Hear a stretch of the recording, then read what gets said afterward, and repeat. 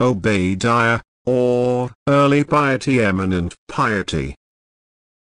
A Sermon Number 1804 Delivered on Lord's Day morning, October 19, 1884, by Charles Haddon Spurgeon. At the Metropolitan Tabernacle, Newington, I thy servant fear the Lord from my youth. 1 Kings 18, 12. I suspect that Elijah did not think very much of Obadiah. He does not treat him with any great consideration, but addresses him more sharply than one would expect from a fellow believer. Elijah was the man of action bold, always to the front, with nothing to conceal. Obadiah was a quiet believer, true and steadfast, but in a very difficult position, and therefore driven to perform his duty in a less open manner. His faith in the Lord swayed his life, but did not drive him out of the court. I notice that even after Elijah had learned more of him at this interview, he speaks concerning God's people as if he did not reckon much upon Obadiah, and others like him. He says, They have thrown down thine altars, and slain thy prophets with the sword, and I, even I only, am left, and they seek my life, to take it away. He knew very well that Obadiah was left, who, though not exactly a prophet, was a man of mark, but he seems to ignore him as if he were of small account in the great struggle. I suppose it was because this man of iron, this prophet of fire and thunder, this mighty servant of the Most High, set small store by anybody who did not come to the front and fight like himself, I know it is the tendency of brave and zealous minds somewhat to undervalue quiet, retired piety. True and accepted servants of God may be doing their best under great disadvantages, against fierce opposition, but they may scarcely be known, and may even shun the least recognition. Therefore men who live in the fierce light of public life are apt to underestimate them. These minor stars are lost in the brilliance of the man whom God lights up like a new sun to flame through the darkness. Elijah flashed over the sky of Israel like a thunderbolt from the hand of the Eternal, and naturally he would be somewhat impatient of those whose movements were slower and less conspicuous. It is Martha and Mary over again, in some respects. The Lord does not love that his servants, however great they are, should think lightly of their lesser comrades, and it occurs to me that he so arranged matters that Obadiah became important to Elijah when he had to face the wrathful king of Israel. The prophet is bidden to go and show himself to Ahab, and he does so, but he judges it better to begin by showing himself to the governor of his palace, that he may break the news to his master, and prepare him for the interview. Ahab was exasperated by the terrible results of the long drought, and might in his sudden fury attempt to kill the prophet, and so he is to have time for consideration, that he may cool down a little. Elijah has an interview with Obadiah, and bids him go and say to Ahab, Behold Elijah, it may sometimes be the nearest way to our object to go a little roundabout. But it is remarkable that Obadiah should thus be made useful to a man so much his superior. He who never feared the face of kings nevertheless found himself using as his helper a far more timid individual.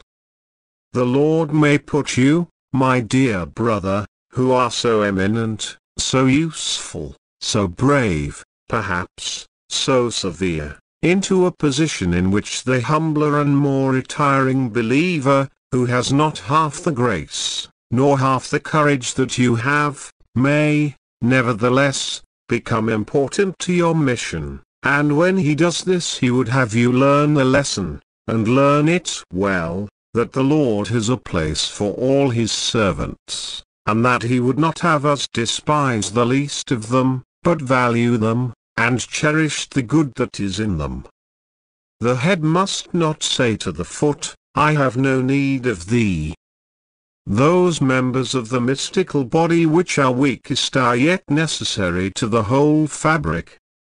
The Lord does not despise the day of small things, neither will he have his people do so.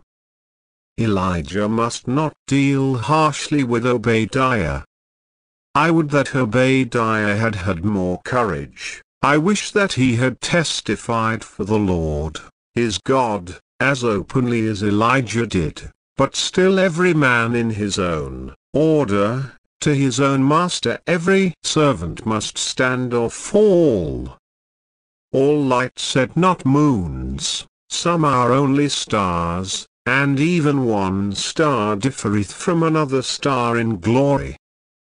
God hath his praise out of the least known of the holy characters of Scripture even as the night hath its light out of those glimmering bodies which cannot be discerned as separate stars, but are portions of nebulous masses in which myriads of far-off lights are melted into one. We learn further from the narrative before us, that God will never leave himself without witnesses in this world. I, and he will not leave himself without witnesses in the worst places of the world. What a horrible abode for a true believer Ahab's court must have been. If there had been no sin other but that woman Jezebel, she was enough to make the palace a sink of iniquity.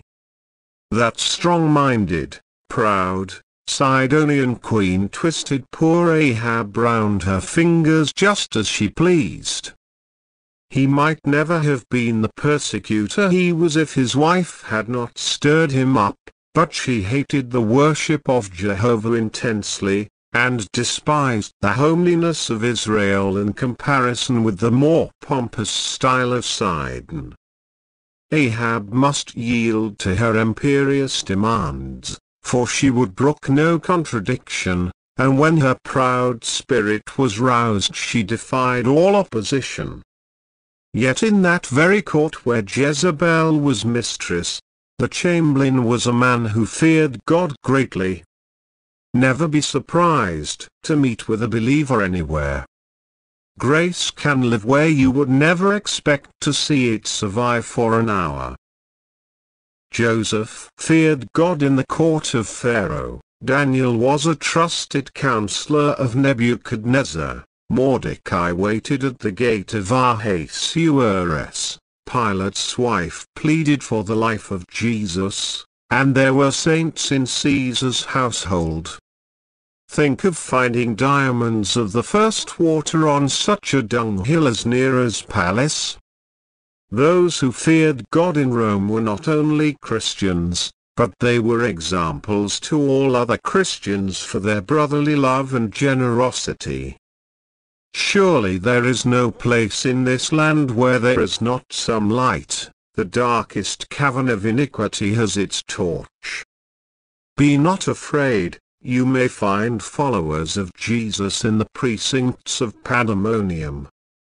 In the palace of Ahab you meet an Obadiah who rejoices to hold fellowship with despised saints, and quits the levees of a monarch for the hiding places of persecuted ministers. I notice that these witnesses for God are very often persons converted in their youth. He seems to take a delight to make these his special standard bearers in the day of battle. Look at Samuel. When all Israel became disgusted with the wickedness of Eli's sons the child Samuel ministered before the Lord. Look at David.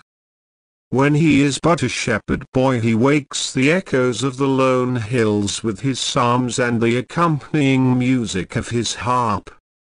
See Josiah.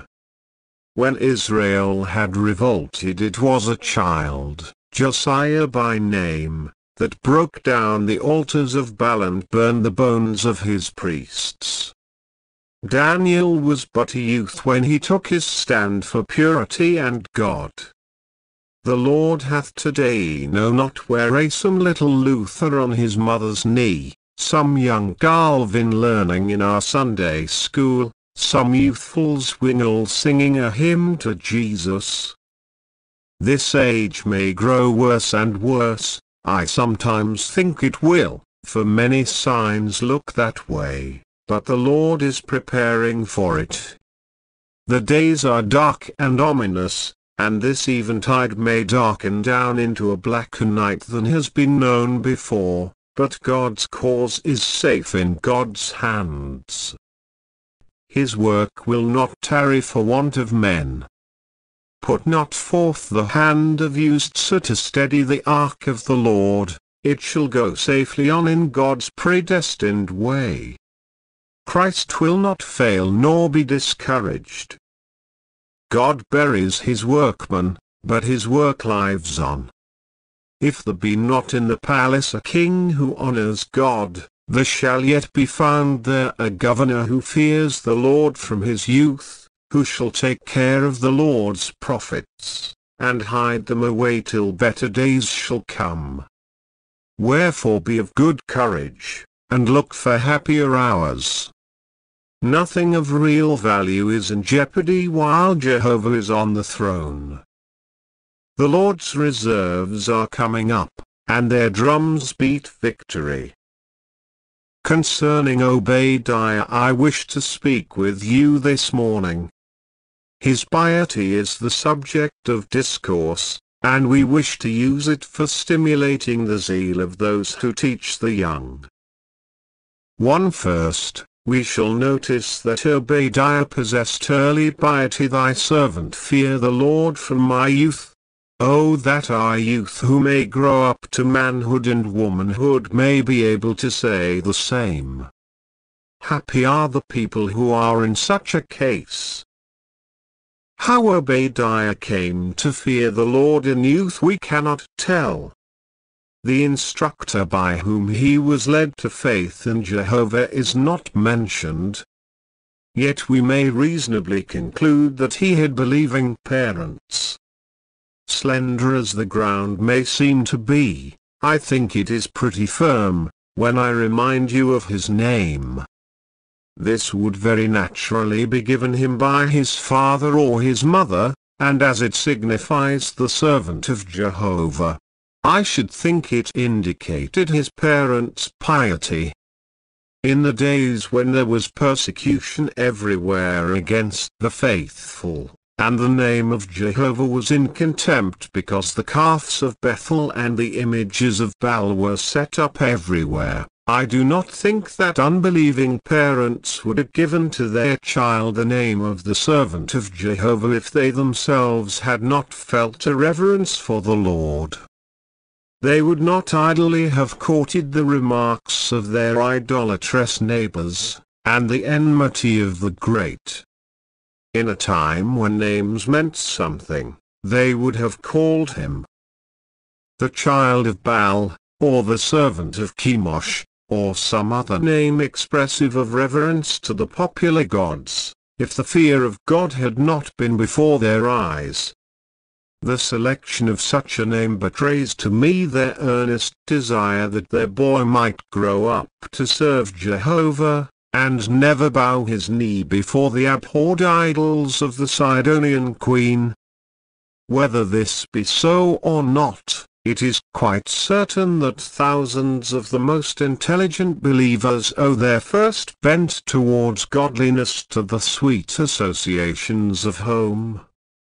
How many of us might well have borne some such a name as that of Obadiah, for no sooner did we see the light than our parents tried to enlighten us with the truth. We were consecrated to the service of God before we knew that there was a God. Many a tear of earnest prayer fell on our infant brow and sealed us for heaven. We were nursed in the atmosphere of devotion, there was scarce a day in which we were not urged to be faithful servants of God, and entreated while we were yet young to seek Jesus and give our hearts to Him. Oh, what we owe, many of us, to the providence which gave us such a happy parentage. Blessed be God for his great mercy to the children of his chosen. If he had no gracious parents, I cannot tell how Obadiah came to be a believer in the Lord in those sad days, unless he fell in with some kind teacher, tender nurse, or perhaps good servant in his father's house, or pious neighbor, who dared to gather little children round about him and tell of the Lord God of Israel.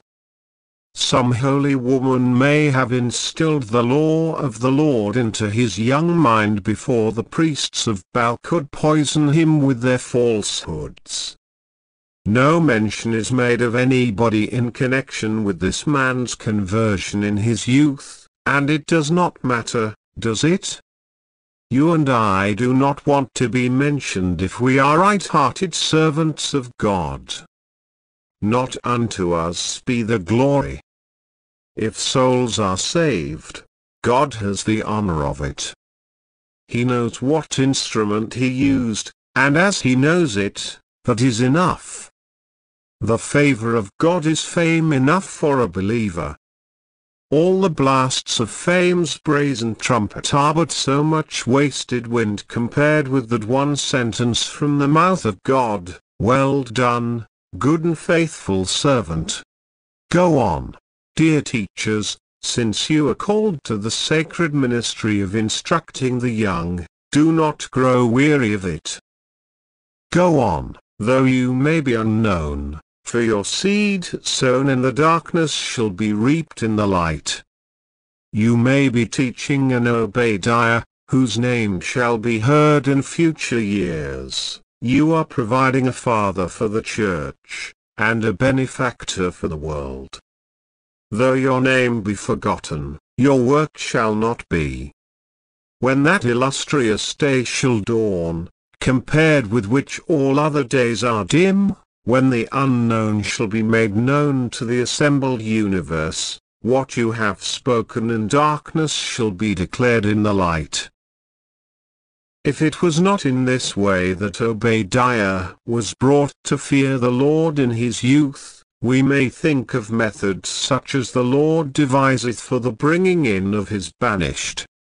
I have been very pleased lately, when I have been seeing inquirers, to talk with several young persons who have come out from utterly worldly families.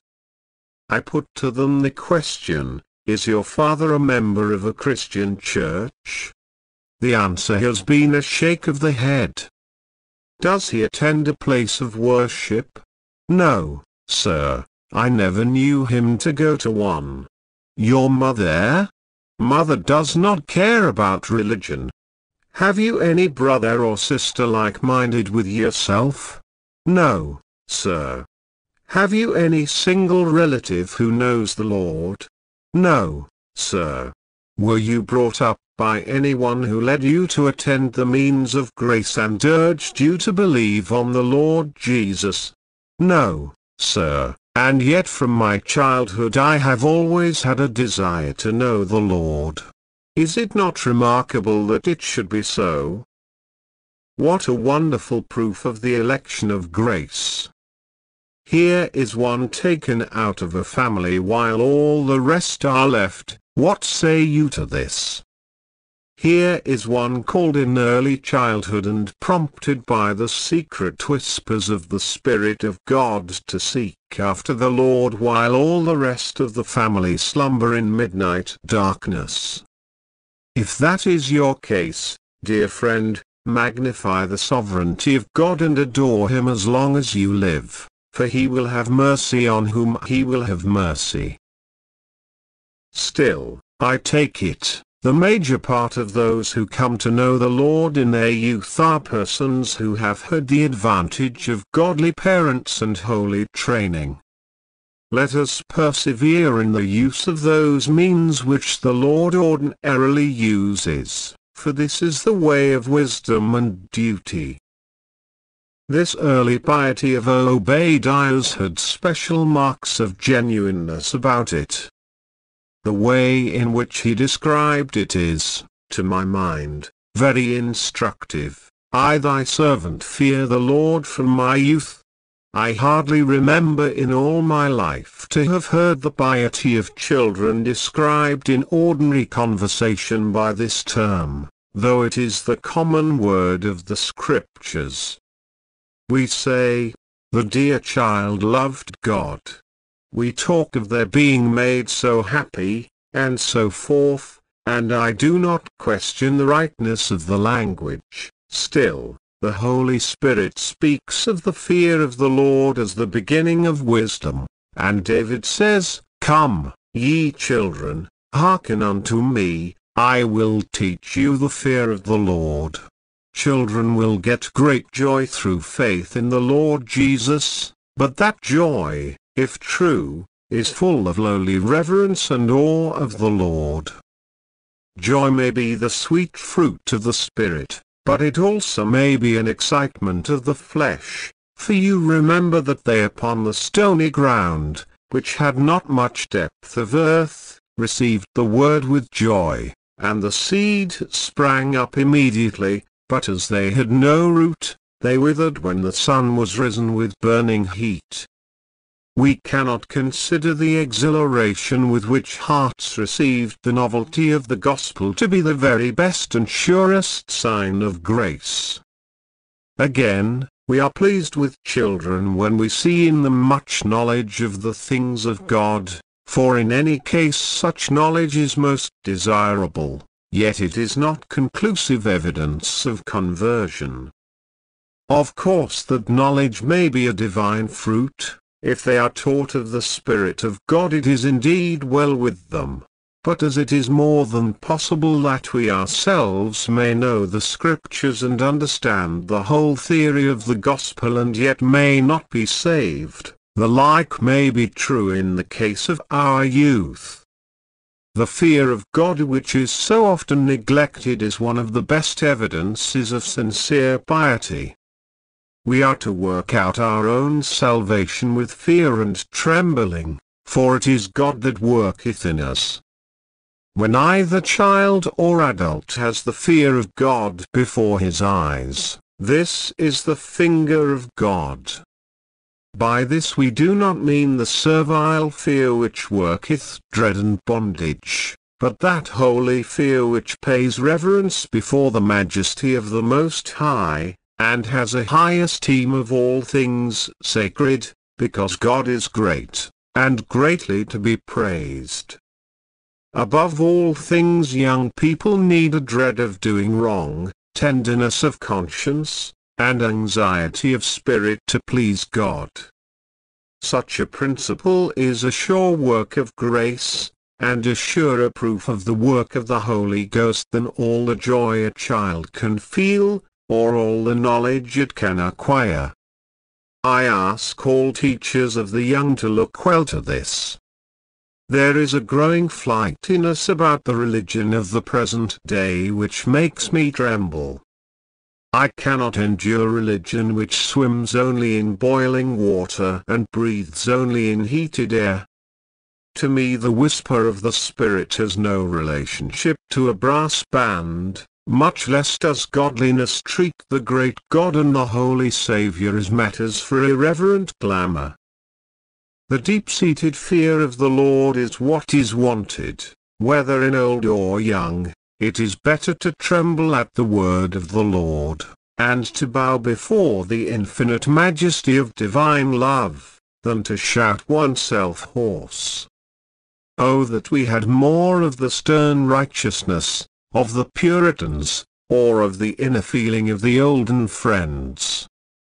Men nowadays put on their shoes and stamp and kick, and few seem to feel the power of that command, given of old to Moses, Put off thy shoes from off thy feet, for the place whereon thou standest is holy ground. The truth of God is not meant to inflate us, but to humble us before the throne. Obadiah had early piety of the right kind. Beloved, you do not need that I should at this point speak to you at large upon the advantages of early piety. I will, therefore, only sum them up in a few sentences. To be a believer in God early in life is to be saved from a thousand regrets. Such a man shall never have to say that he carries in his bones the sins of his youth. Early piety helps us to form associations for the rest of life which will prove helpful, and it saves us from those which are harmful. The Christian young man will not fall into the common sins of young men, and injure his constitution by excesses. He will be likely to be married to a Christian woman, and so to have a holy companion in his march towards heaven. He will select as his associates those who will be his friends in the church and not in the tavern, his helpers in virtue, and not his tempters to vice.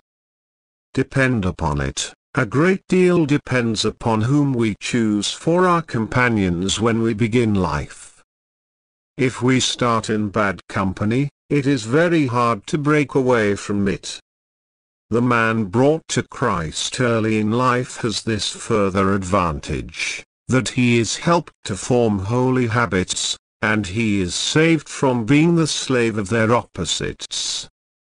Habits soon become a second nature, to form new ones is hard work, but those formed in youth remain in old age. There is something in that verse, Tis easier work if we begin to serve the Lord betimes. But sinners who grow old in sin are hardened in their crimes. I am sure it is so. Moreover, I notice that, very frequently, those who are brought to Christ whilst young grow in grace more rapidly and readily than others do. They have not so much to unlearn, and they have not such a heavy weight of old memories to carry. The scars and bleeding sores which come of having spent years in the service of the devil are missed by those whom the Lord brings into his church before they have wandered far into the world. As to early piety in its bearing upon others, I cannot too highly commend it. How attractive it is. Grace looks loveliest in youth. That which would not be noticed in the grown-up man, strikes at once the most careless observer when seen in a child. Grace in a child has a convincing force, the infidel drops his weapon and admires. A word spoken by a child abides in the memory and its artless accents touch the heart. Where the minister's sermon fails, the child's prayer may gain the victory. Moreover, religion in children suggests encouragement to those of riper years, for others seeing the little one saved say to themselves, Why should not we also find the Lord? By a certain secret power it opens closed doors and turns the key in the lock of unbelief. Where nothing else could win a way for truth, a child's love has done it. It is still true, out of the mouth of babes and sucklings hast thou ordained strength because of thine enemies, that thou mightest still the enemy and the avenger. Go on, go on, dear teachers, to promote this most precious of all things beneath the sky, true religion in the heart specially in the heart of the young. I have taken up, perhaps, too much time upon this early piety, and therefore I will only give you hints, in the next place, as to its results. 2. Youthful piety leads on to persevering piety. Obadiah could say, I thy servant fear the Lord from my youth. Time had not changed him, whatever his age may have been, his religion had not decayed. We are all fond of novelty, and I have known some men go wrong as it were for a change. It is not burning quick to the death in martyrdom that is the hard work. Roasting before a slow fire is a far more terrible test of firmness. To continue gracious during a long life of temptation is to be gracious indeed. For the grace of God to convert a man like Paul, who is full of threatenings against the saints, is a great marvel, but for the grace of God to preserve a believer for 10, 20, 30, 40, 50 years, is quite as great a miracle, and deserves more of our praise than it usually commands. Obadiah was not affected by the lapse of time, he was found to be when old what he was when young. Nor was he carried away by the fashion of those evil times. To be a servant of Jehovah was thought to be a mean thing, old-fashioned, ignorant, a thing of the past. The worship of Baal was the modern thought of the hour. All the court walked after the god of Sidon, and all the courtiers went in the same way. My lord worshipped Baal, and my lady worshipped Baal, for the queen worshipped Baal, but Obadiah said, I thy servant fear Jehovah from my youth, Blessed is the man who cares nothing for the fashion, for it passeth away. If for a while it rageth towards evil, what hath the believing man to do but to abide steadfastly by the right? Obadiah was not even affected by the absence of the means of grace. The priests and Levites had fled into Judah, and the prophets had been killed or hidden away, and there was no public worship of Jehovah in Israel. The temple was far away at Jerusalem, therefore he had no opportunity of hearing anything that could strengthen him or stimulate him, yet he held on his way. I wonder how long some professors would keep up their profession if there were no places of worship, no Christian associations, no ministrations of the word, but this man's fear of the Lord was so deep that the absence of that which is usually wanted for the sustenance of piety did not cause him to decline. May you and I personally feed upon the Lord Jesus in the secret of our souls, so that we may flourish even though we should be far removed from a profitable ministry. May the Holy Ghost make us steadfast, unmovable evermore. Added to this, there were the difficulties of his position. He was chamberlain of the palace. If he had pleased Jezebel and worshipped Baal he might have been much easier in his situation, for he would have enjoyed her royal patronage, but there he was, governor in Ahab's house and yet fearing Jehovah. He must have had to walk very delicately, and watch his words most carefully. I do not wonder that he became a very cautious person, and was a little afraid even of Elijah, lest he was giving him a commission which would lead to his destruction.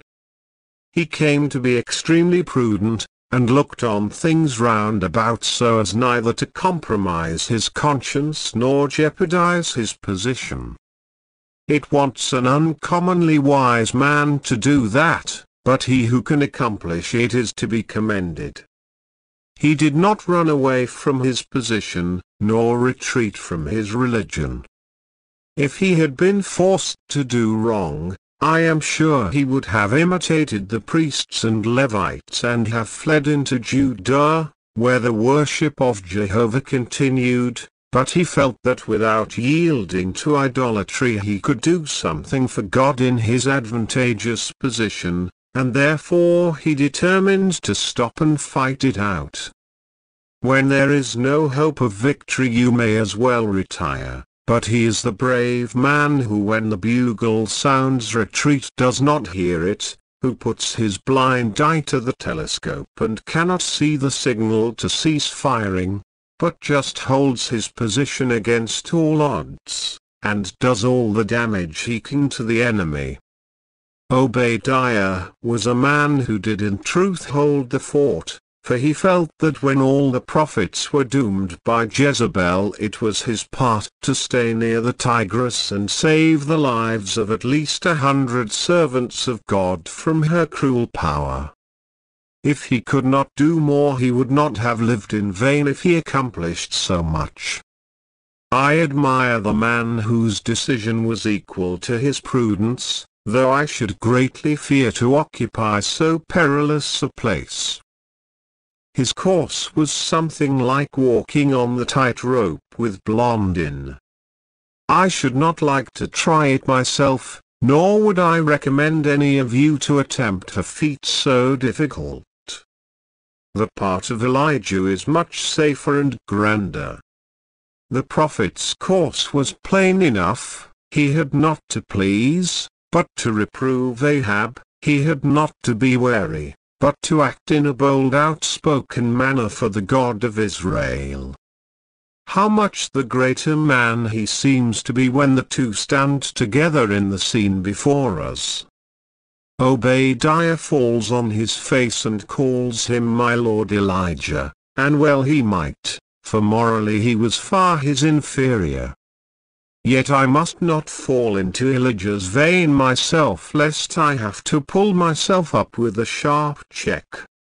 It was a great thing for Obadiah that he could manage Ahab's household with Jezebel in it, and yet, for all that, win this commendation from the Spirit of God, that he feared the Lord greatly. He persevered, too, notwithstanding his success in life, and that I hold to be much to his credit. There is nothing more perilous to a man than to prosper in this world and become rich and respectable. Of course we desire it, wish for it, strive for it, but how many in winning it have lost all, as to spiritual wealth? The man used to love the people of God, and now he says, they are a vulgar class of persons. So long as he could hear the gospel he did not mind the architecture of the house, but now he has grown aesthetic, and must have a spire, Gothic architecture, a marble pulpit, priestly millinery, a conservatory in the church, and all sorts of pretty things. As he has filled his pocket he has emptied his brains, and especially emptied his heart. He has got away from truth and principle in proportion as he has made an advance in his estate. This is a mean business, which at one time he would have been the first to condemn. There is no chivalry in such conduct, it is dastardly to the last degree. God save us from it, but a great many people are not saved from it. Their religion is not a matter of principle, but a matter of interest. It is not the pursuit of truth, but a hankering after society, whatever that may mean. It is not their object to glorify God, but to get rich husbands for their girls. It is not conscience that guides them, but the hope of being able to invite Sir John to dinner with them, and of dining at the hall in return. Do not think I am sarcastic, I speak in sober sadness of things which make one feel ashamed. I hear of them daily, though they do not personally affect me, or this church. This is an age of meanness is disguised under the notion of respectability.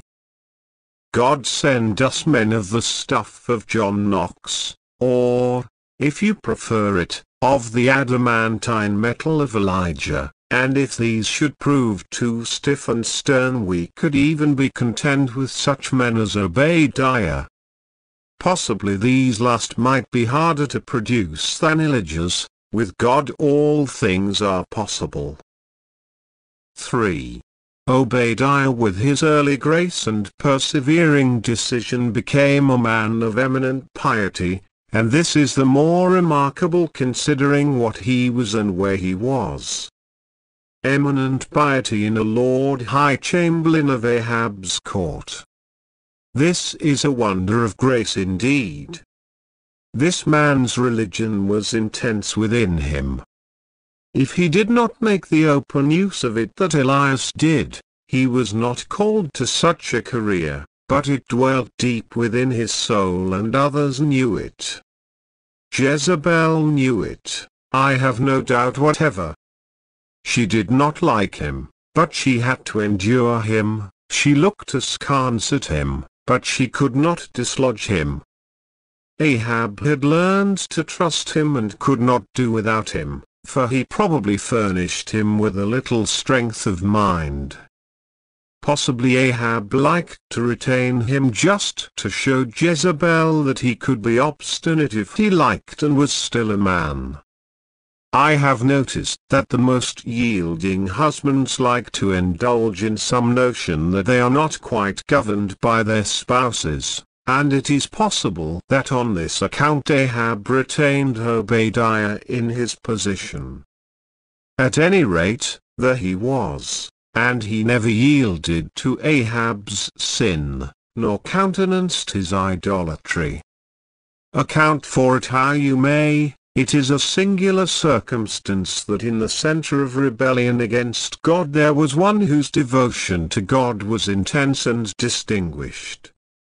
As it is horrible to find a Judas among the apostles, so it is grand to discover an Obadiah among Ahab's courtiers. What grace must have been at work to maintain such a fire in the midst of the sea, such godliness in the midst of the vilest iniquity. And his eminent piety was very practical, for when Jezebel was slaying the prophets he hid them away from her hundred of them. I do not know how many servants of the Lord any of you support, but I have not the privilege of knowing any gentleman who sustains a hundred ministers. This man's hospitality was on a grand scale. He fed them with the best he could find for them, and risked his life for them by hiding them away in caves from the search of the queen. He not only used his purse but staked his life when a price was set upon these men's heads. How many among us would place our lives in jeopardy for one of the Lord's servants? At any rate, Obadiah's fear of the Lord brought forth precious fruit, and proved itself to be a powerful principle of action. His godliness was such, too, that it was recognized by the believers of the day.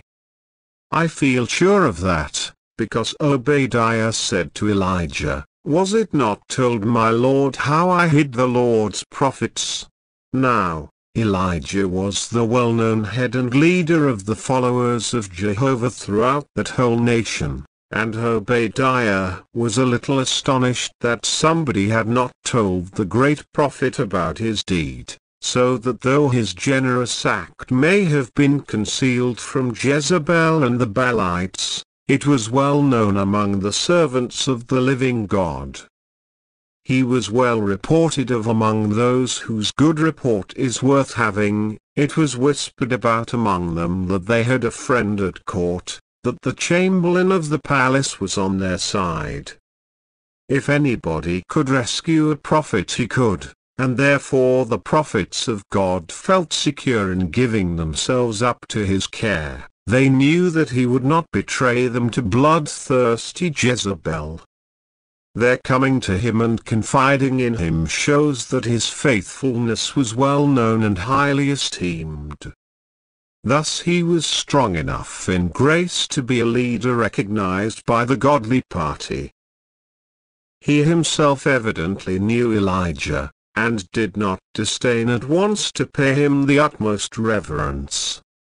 The prophet of God, who was at that moment hated of all men because of the judgment which had been indicted by his means, and was the special object of the ring's pursuit, was honored by this gracious man.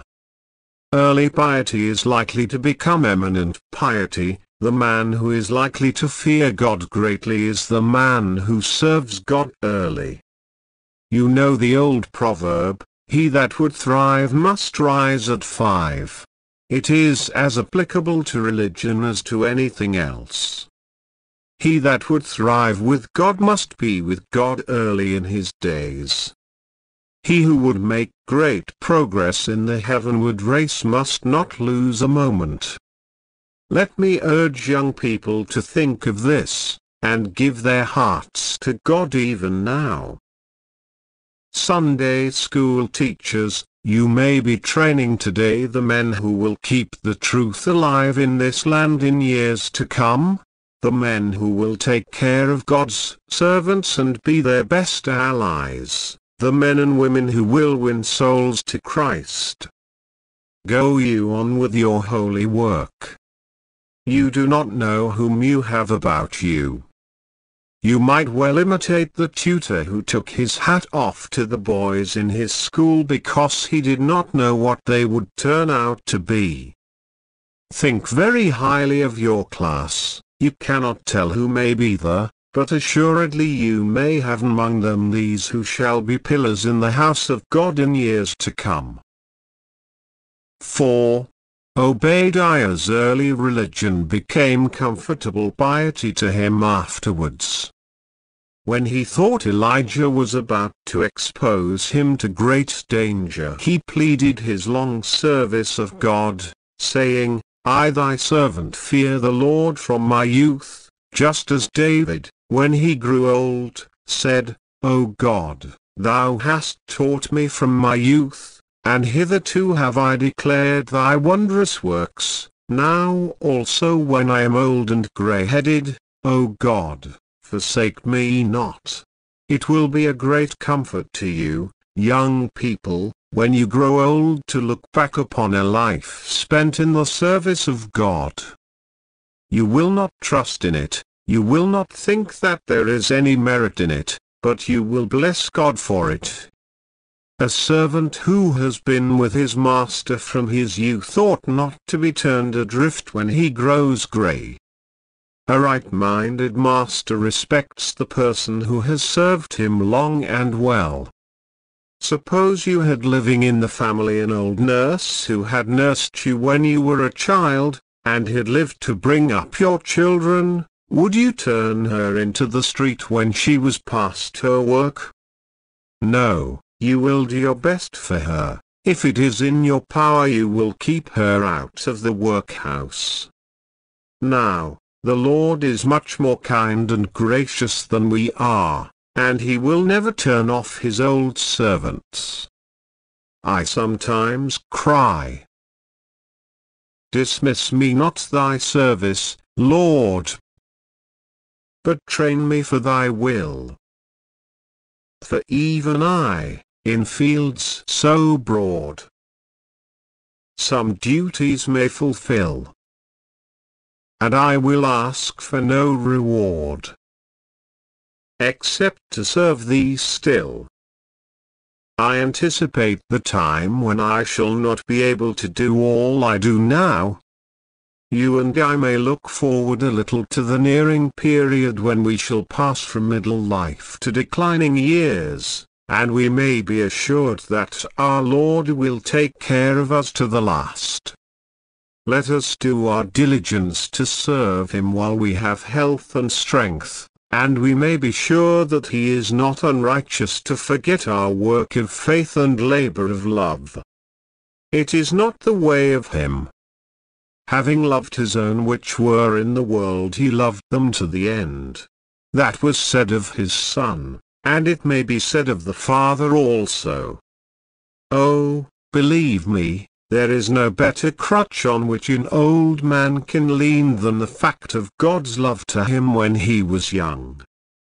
You cannot have a better outlook to your window when your eyes begin to fail than to remember how you went after the Lord in the days of your youth, and devoted your vigor to his service. Dear young people, if any of you are living in sin I do pray you to recollect that if you are seeking the pleasures of this world today you will have to pay for it by and by. Rejoice in thy youth, and let thy heart cheer thee therein, but for all this the Lord will bring thee into judgment. If thy childhood be vanity, and thy youth be wickedness, thy after days will be sorrow. Oh, that thou wouldest be wise and offer to Christ thy flower in its bud with all its beauty upon it. Thou canst not be too soon holy, for thou canst not be too soon happy. A truly merry life must begin in the great Father's house. And you, teachers, go on teaching the young the ways of God. In these days the state is giving them secular instruction all the day long, six days in the week, and religious teaching is greatly needed to balance it, or we shall soon become a nation of infidels. Secular teaching is all very well and good, we never stand in the way of any sort of light, but teaching that has not religion blended with it will simply help men to be bigger rascals than they would be without it. A rogue with a jemmy is bad enough, but a rogue with a pen and a set of cooked accounts robs a hundred for the other's one. Under our present plans children will grow up with greater capacity for mischief, unless the fear of the Lord is set before them, and they are taught in the Scriptures and the Gospel of our Lord Jesus. Instead of relaxing Sabbath school efforts, we shall be wise to increase them greatly. As to you that have grown old in sin, I cannot talk to you about early piety, but there is a passage of Scripture which ought to give you great hope. Remember how the householder went out at the third, the sixth, the ninth, and at last at the eleventh hour, and found some still standing in the marketplace idle. It was late, was it not? Very late. But, blessed be God, it was not too late. They had but one hour left, but the master said, Go, work in my vineyard, and whatsoever is right I will give thee. Now you eleventh hour people, you people of 60, 65, 70, 75, 80 would go on to 100 if I thought you were here of that age you still may come and enlist in the service of the gracious Lord, who will give you your penny at the close of the day even as he will give to the rest of the laborers the Lord bring you to his feet by faith in Christ. Amen.